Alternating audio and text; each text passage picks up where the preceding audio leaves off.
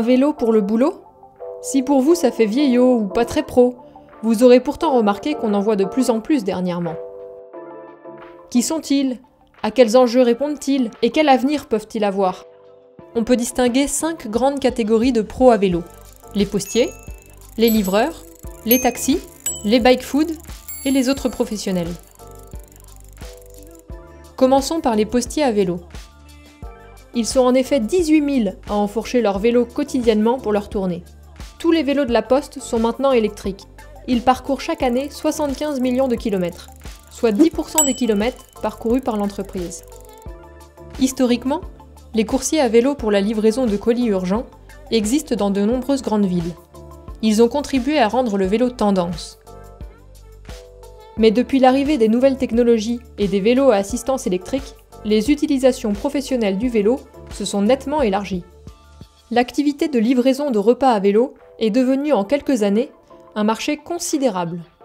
Les livreurs de repas à vélo sont environ 37 000 pour 11 000 équivalents temps plein. Et puis ce marché est encore en fort développement. Sept grosses sociétés de livraison s'imposent actuellement sur le marché. Mais les créations et fermetures sont rapides. Leur modèle d'organisation repose souvent sur un nombre très important d'auto-entrepreneurs ce qui est socialement très contesté. Les livraisons en vélo cargo sur le dernier kilomètre sont encore marginales. Elles dépendent beaucoup de l'évolution des réglementations communales et des politiques d'accès au centre-ville. Et pourtant, ce mode de livraison a énormément d'avantages. À titre d'exemple, un fourgon électrique a une puissance 400 fois supérieure à celle d'un vélo cargo pour transporter seulement 4 fois plus de poids. On estime que dans le futur, 25% des livraisons urbaines dans les commerces pourraient être basculées sur des vélos cargo. Une grande plateforme de commerce en ligne s'est déjà engagée à rendre 50% de ses livraisons neutres en carbone d'ici 2030. Les vendeurs ambulants, truck food à vélo, café ou autres, commencent eux aussi à se multiplier sur les lieux publics en France. Pour ce qui est des vélos taxis, on en compte environ 550 pour le moment.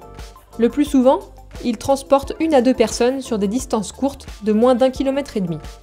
Même s'ils sont moins visibles, de nombreux autres professionnels font usage du vélo dans leur journée. Professions médicales, artisans, assistantes sociales, agents immobiliers, plombiers, serruriers et autres professionnels qui profitent de la facilité qu'offre le vélo pour les déplacements courts en zone dense. Pas de temps perdu dans les embouteillages ou à la recherche de stationnement, moins de congestion, de pollution, de bruit les usages professionnels du vélo nous aident à pacifier la ville. Alors pourquoi ne pas adapter nos politiques locales pour les aider à se développer?